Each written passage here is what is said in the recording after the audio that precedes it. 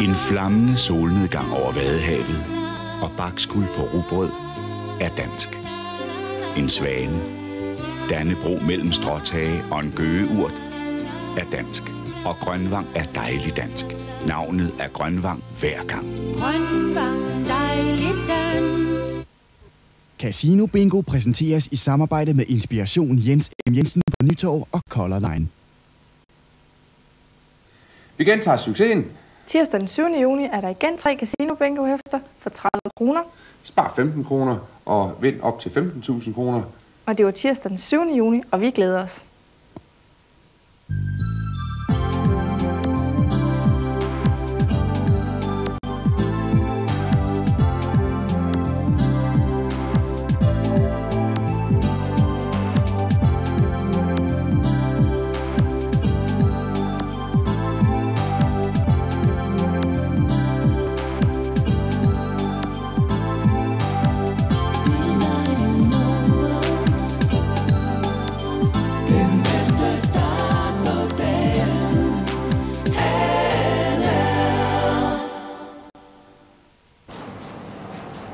Hej.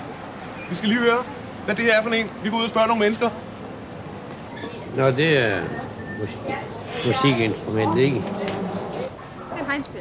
En hegnspil. Vi skal lige have at vide, hvad er det her for noget? Det er det, vi har drukket. Nu skal den fyldes Jamen, op. jeg han spørger, hvad det der det er. Det kunne være en meget stor øh, potensforlænger, ikke også til en meget lille mand. Nej, det er et cykelstativ. Hvordan det? Jo, altså man tager sin cykel og stiller den op ad pælen og bruger hullet til sin kædelås. Smart, ikke? Jo. Cykelstilleren finder du i midtbyen. Ja, hallo, Mette. Ja, skyd, det er fra fjernsynet. Aalborg, Aalborg. Ja, det er nu for jeg har sidst. Ja, vi, vi skal op til, se, de holder pæne heste. Og... Ja, vi skal også have en tid, hvor de ellers får at med. Ja, ja, Demsen, han kommer også der. Ja, ja, vi kan tage to i karusellen. Ja, og Jotlabira. Ja, han kommer også i år her. Ja, der er noget for os og de helt unge. Ja, vi med helle sammen i Meta. Det kan være, vi ikke se Peter Markers kæreste. Ja, ja, det er godt. Vel.